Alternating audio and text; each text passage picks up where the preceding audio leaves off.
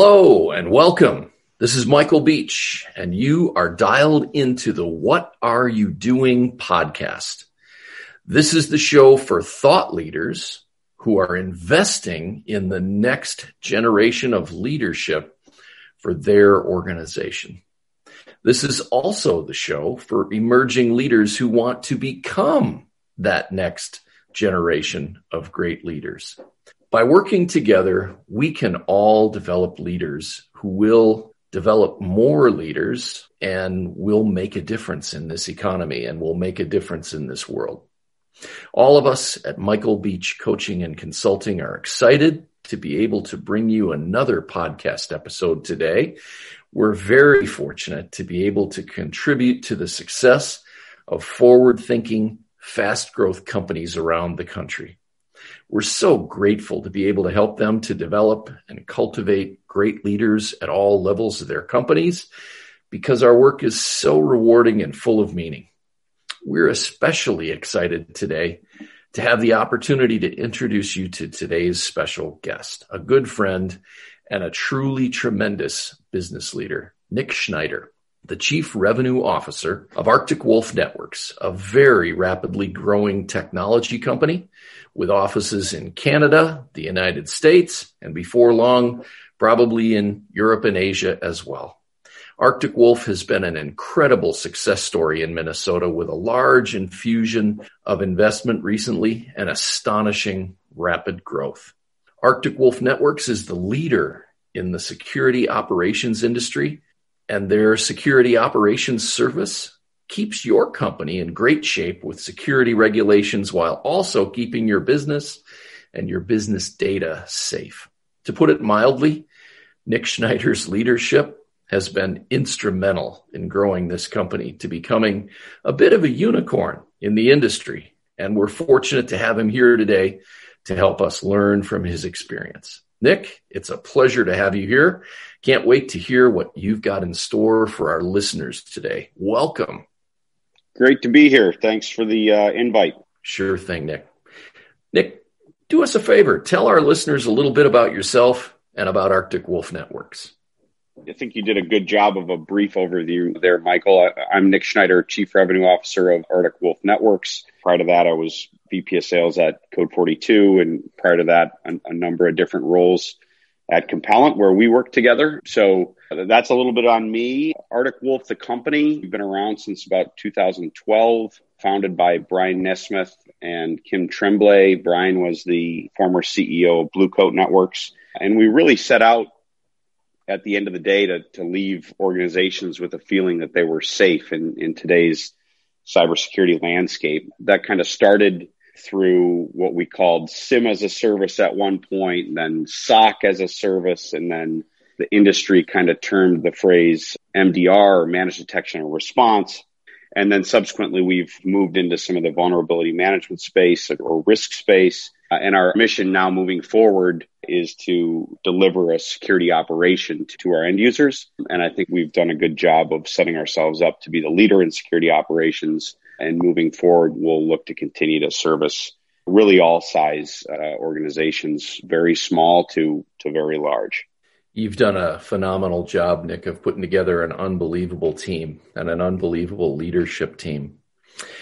I'm curious at what point in your life or in your career did you become interested in leadership? I'm not sure I can point to a specific date or phase of my life, I guess. Mm-hmm. Um, I grew up in sports, so you know, it's kind of hard to be a part of a team sport or even an individual athlete in a roundabout team sport. What I mean by that is I ran track and cross country all through high school and college. And that sport is team oriented. Mm-hmm. but the execution on game day, if you will, is is really an individual sport. So, right. But there's leadership, you know, components of even sports like that. So I, I think that's where it really started for me. You know, there were components of my everyday through athletics, or as you watched great teams or or great individuals on teams and the way that they operated with the folks that they played with. I think just naturally it interested me in in leadership and more importantly in getting like a group of people rallied around a common objective and playing a role in ensuring that they, you know, stayed aligned and gave it their all. So I think that's probably where it started. I've had the benefit through my career of, you know, being a part of great leadership teams or witnessing great leadership firsthand. Brian Bell was my, you know, kind of first boss, I guess, if you will, which that's a lucky pull if you're looking for a first boss. Right. Uh, so he helped quite a bit. And then you have guys like Phil Soran or yourself. And there's been people all through my career that I've kind of viewed as folks that I could take different pieces of their leadership styles or different pieces of what I saw through track and cross country at the time or in my baseball teams or even as you're watching professional sports. And I think that kind of all put together is what kept me interested in the role with an organization. Wow, how does a guy get lucky enough to have Brian Bell as your first manager? That that's uh, a pretty lucky pull indeed. I got to tell you. Yeah, good. Yeah. Good for you. But then you have to ask yourself, what are you going to do for an encore? yeah, yeah. Uh, uh, Lucky for great. me, the encore was Brian again. So. Right, right. Yeah, because you was, uh, joined him over at Code 42. That was wonderful. Yep. Well, you mentioned a, a good number of leadership mentors that you've been fortunate enough to you know be involved with over the course of your successful career can you think of anybody in particular who made a big investment in you or had a big impression upon you out of all the folks you've had access to yeah there's been a few uh, brian mm-hmm. or dennis johnson i would say would, would be another one both of those guys have you know not only helped me out but helped I couldn't put a number on it, uh, is through their careers, you know, the personal aspects of it, the professional aspects of it, and they've all grown to be good friends as well. So, you know, for me, I would say those two in particular. Uh, Obviously, we have a good relationship. Phil Soran, I've stayed in touch with. Jeff Hankintown uh, mm-hmm. uh, with Rally Ventures, who invested in Compellent. You know, we, we stay in touch. So there's an ecosystem of folks that either worked with, for, or around for you know 15 or 20 years yeah and uh, but i would say you know from a who made the investment back for myself personally the most i would say probably brian and dennis a couple of great guys and really terrific human beings in addition to great leaders for sure absolutely Nick, I would imagine our listeners would love to hear a little bit about what you do to raise the level of your leadership game. Anything that you're doing these days to take yourself to a new level? Well, yeah, obviously we're working with you, which is both a combination of elevating my game, but also ensuring that we elevate the collective games of our leadership teams as a whole. And I think there's some benefits that come, you know, outside of the direct interaction with your team in witnessing the team as a whole kind of operating on a common playing field with regard to, to leadership and how they lead mm-hmm. their teams. You know, sure. so obviously that's one investment that we're making. Myself personally, I'm actually not like a, a voracious reader, so I don't read a million different books, but I do read a few books over and over again. Sure. And I definitely uh, poke around on blogs and websites and various articles, both on leadership, but also what it takes to win in general, what it takes to grow an organization and best ways in which to kind of rally the troops, if you will there's not like something I could point to as the as the one you know thing I do. There, there's okay. so much material and content right. coming at you these days that right. I, I kind of take bits and pieces of the various you know things I read. Well, I appreciate that, Nick. If you don't mind, I'd love to just make an observation for our listeners, something that, you know, I've had the opportunity to work pretty closely with you now for the better part of the last decade and a half. One of the things that I've noticed that you do about as well as anybody's ever done is you leverage the people around you.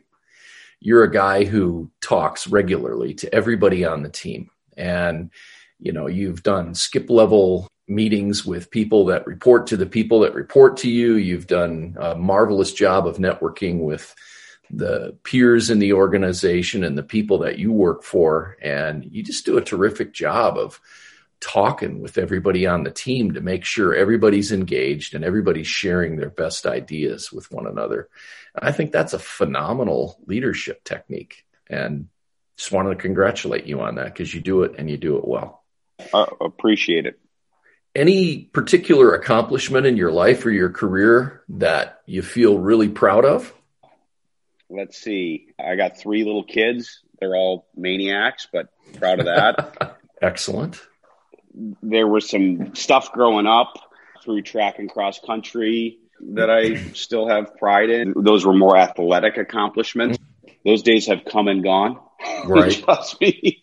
And then, you know, professionally, honestly, what I get the most out of, regardless of leadership or just being a part of the team, is is just seeing the folks on the team progress into different phases of both their professional careers, but also life, right? So I saw this at Compellent, which was my first leadership gig, and then uh, again at Code 42, and, and certainly now again at Arctic Wolf. But you have people that come into the organization at all different stages in their professional career. It just so happens that those stages of their professional career align with stages of their personal lives.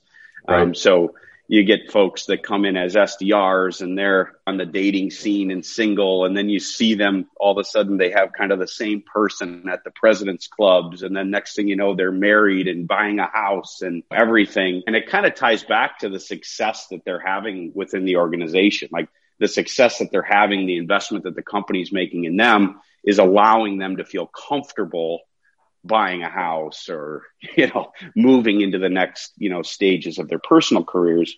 Right. Uh, and for me that's that's what it's all about. You can look across a room of folks that you've been working with for four or five years and you can tell that they've all made a huge impact on the company but they've they've also made huge impacts through their hard work on the outcome of their life or what their life will be for the next 10 15 years so for me that's the fun part right? Yeah. That's the part that you look back and you say, wow, we, we really built something cool here.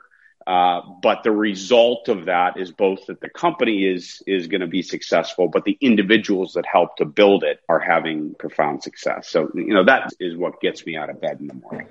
Very gratifying work, to say the very least. Nick, I know you're a music guy. You enjoy music. Any particular band or artist that is one of your favorites? Oh man, well, it kind of depends on kind of depends on what uh, where I'm at. But I've always been like Bob Seger.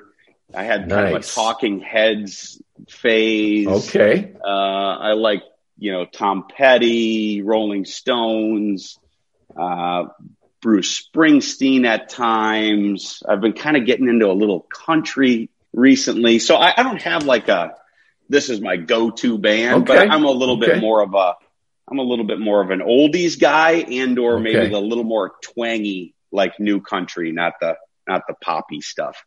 Gotcha. Gotcha. Well, I can remember a time many years ago where I got the pleasure of witnessing you doing a Billy Joel impression, and oh, yeah. uh, I, gotta, I gotta tell you, you're you're pretty good. That was yeah. a very entertaining evening. Yeah, you can thank. I think it was my seventh grade history teacher believe it or not, I know it'll shock you, but I, I got a detention and in the detention, the requirement uh, was that we had to understand the lyrics of We Didn't Start the Fire, which if you don't, right. I, I, know you've heard me sing it now, but I had to sit right. there and go through every single word or mm-hmm. person or thing and identify like why it was in the song. And then wow. I had to read the thing so many times that I me- memorized it. So sure. Sure. So, so lucky you, you get the outcome, which is me trying to sing it. Amen. It was, it was a pleasure.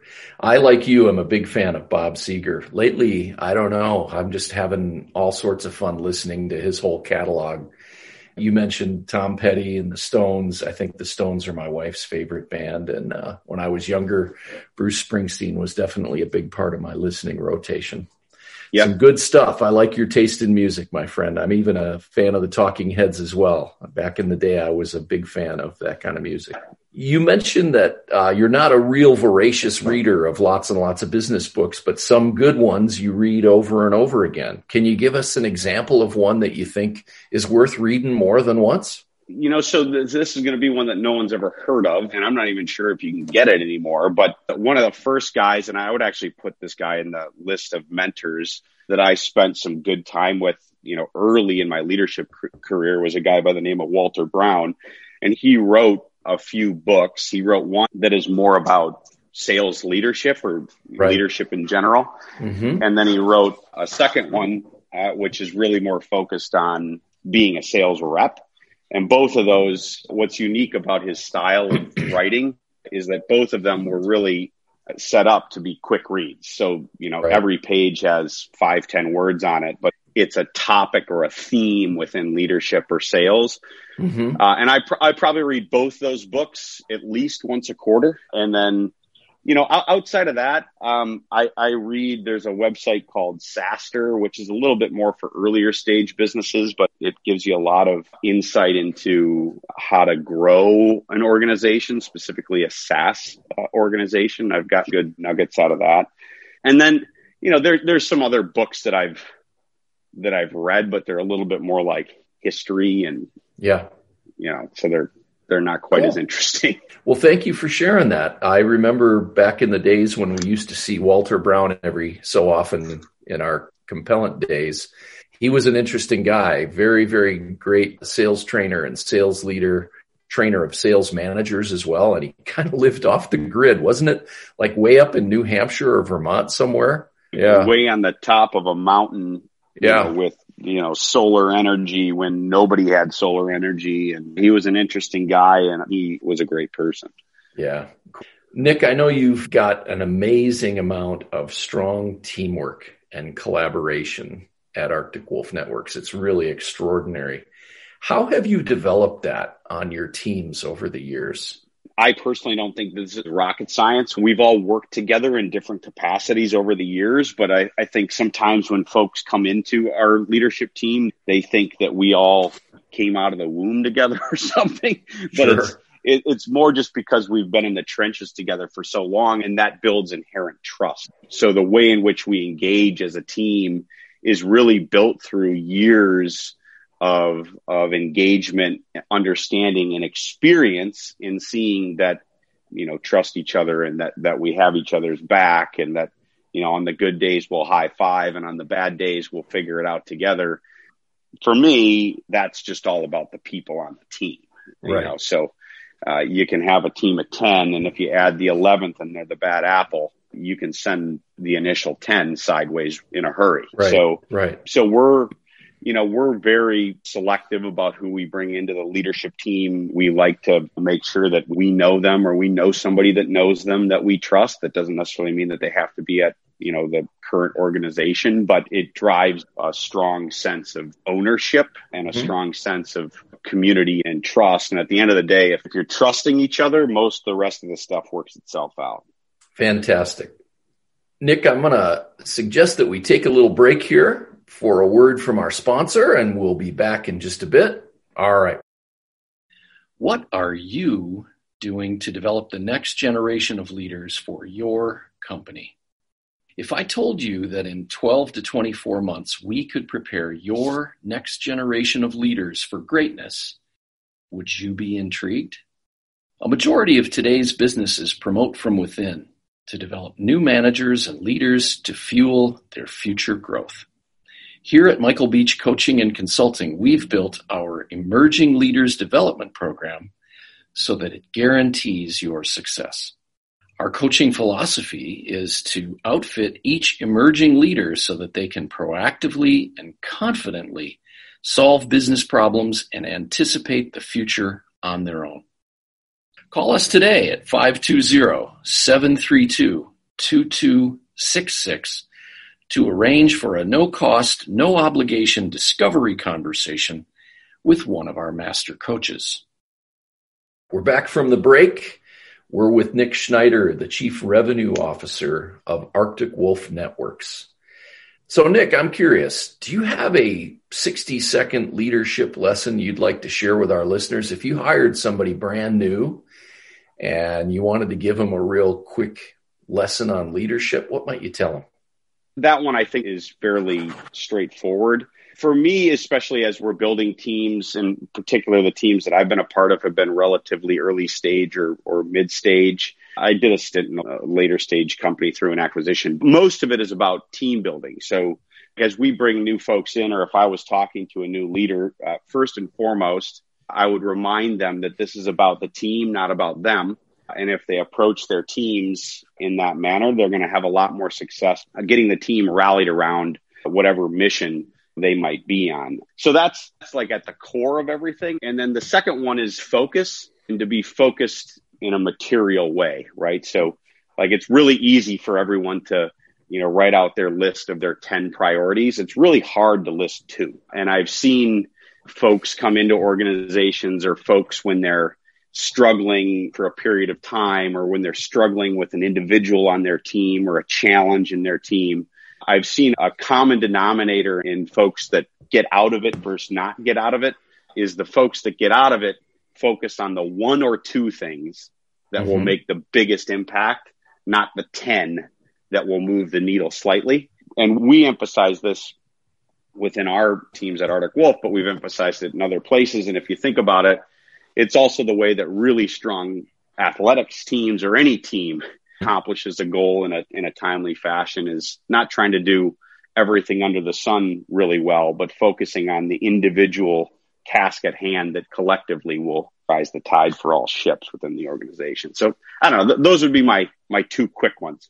Excellent. Nick, how much value do you place on emotional intelligence when you're recruiting or when you're developing great leaders in your organization?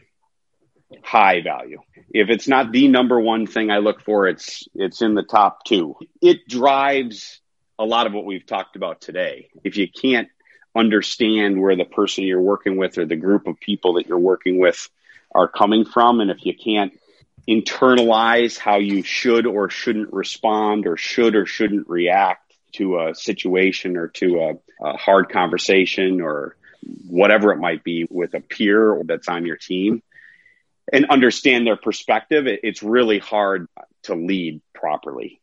It's at the top of our list of things that we look for. Understandable. Nick, my last question for you. You've made an extraordinary amount of investment over the years in investing in yourself, investing in everyone around you to build a very dynamic culture and a very dynamic leadership team. What's made you spend so much time and energy investing in others and investing in yourself? Mostly other people did it for me. So I had a great experience through my professional career. And that wasn't just because, you know, I worked hard on my own. I mean, I did work right. really hard on my own, but I wouldn't have had half the success that I've had or that the teams that I've been a part of had without people making investments in the individuals on the team. So for me, I, part of it is I grew up in my professional career surrounded by really good leaders or with examples of really strong leadership. For me, it's both about, wow, that really works, but also about repaying the favor to folks as we're bringing folks through their leadership path. It's for me kind of the, the only way I know. so yeah. Um, so it's it's more about my personal experience and and how well I think it worked, but also how much I enjoyed it and kind of recreating that for for other folks. Well, you're doing it and you're doing it well, my friend. Thank you so much. This has been a fantastic experience interviewing you today, and I really appreciate you. Well, listeners, that's our episode for today. We want to thank today's guest, Nick Schneider, the Chief Revenue Officer of Arctic Wolf Networks, the leader in security operations. Thank you, Nick. Our interview today provided keen insights for our listeners that they'll be able to implement as they become better leaders. We appreciate your contribution to our program, Nick, and to our listeners' ongoing success. Our next episode will be released soon. And once again, you can rest assured we're going to bring our A game and come to you with another fantastic guest. Thank you, listeners, for joining us. And please reach out to us at info at michaelbeachcoach.com if you have a terrific suggestion for a future episode guest, or hey, maybe you'd like to become a featured guest yourself. Either way, we'd love to hear from you. We'll look forward to our next episode and seeing you all again. Until then, remember, You've got to start working hard to become the person you've always wanted to become by investing in yourself. And then, more importantly, you've got to invest in your team. Believe in yourself and believe the best in everybody you work with, and things always work out well. See you next time, gang.